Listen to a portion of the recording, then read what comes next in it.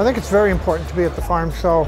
You have an opportunity to speak to members and even people who aren't members of the OFA and to explain what we do and what we do for our members. It's important for the board to be out in community so that we can understand what's going on in the local community, to understand the issues that they have so that we can bring it back to the board table.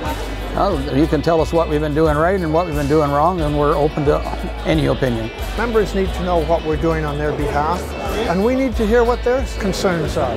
And this is an opportunity to express those concerns to us. And so it's a really great moment to let people know what we're doing and let people tell us what they're worried about. So I had a couple members come up today and had great conversations with them. One was of the land three severances.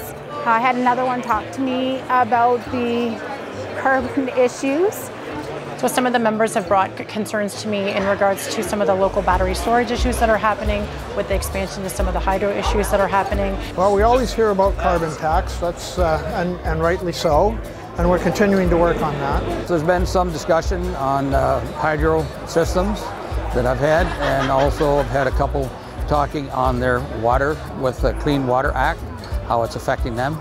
I think it's a way to connect with other members in not just this area, but other areas to see what concerns they have, to reconnect with people. It's a way to connect with us and bring your concerns from your areas and let us know about them so that we can bring them forward and we can make sure that we're covering them when we talk to members of parliament why members are coming here. Well, you come to the farm show because, you know, if you're looking for a service or for a supply, you come out here. I've actually had people that didn't know how to get a farm business registration number. So people are looking for gate signs so that they can show support to the Ontario Federation of Agriculture, find information about taxes and resource. Well, there's all kinds of information here. It's, it's, and it's, it's a camaraderie too. Like you can meet people you haven't seen for a long time. People are curious, they're interested, and they're worried. They want to know what's coming down, what's it going to cost, and how can I deal with it, and how can we help? And that's the key. How can we help?